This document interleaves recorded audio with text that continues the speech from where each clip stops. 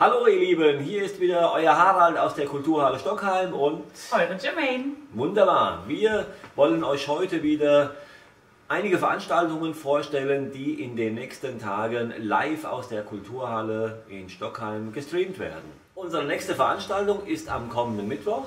Genau, den 29.04. Dreiviertel November. Warum Dreiviertel November? Weil nur drei der vier November-Mitglieder dabei sind. Nämlich der Oliver Bick, der Thomas Wimmer und natürlich die wunderbare Inka. Die nächste Veranstaltung ist am 30.04. und wer kommt da? Ja, da kommt zum ersten Mal das kleine neue Frankfurter Schulorchester.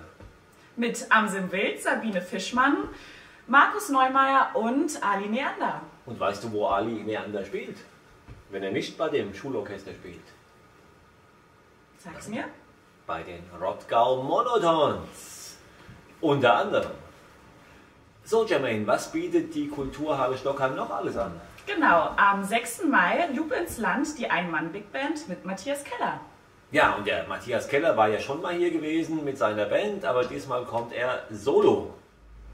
Das alles ist wie immer um 19 Uhr auf Facebook zu sehen, auf unserer Seite als Livestream und einen Tag später auf unserem YouTube-Channel. Wunderbar. Und wie immer mein Aufruf an euch, wenn ihr das Ganze gut findet, unterstützen wollt, dann habt ihr die Möglichkeit auf unserem PayPal-Button, der wieder eingeblendet wird, direkt eine Spende abzugeben. Oder wenn ihr kein Konto bei PayPal habt, dann könnt ihr das Ganze auch auf unser Kulturhallenkonto überweisen. Die Kontonummer wird euch dann bei der jeweiligen Veranstaltung eingeblendet.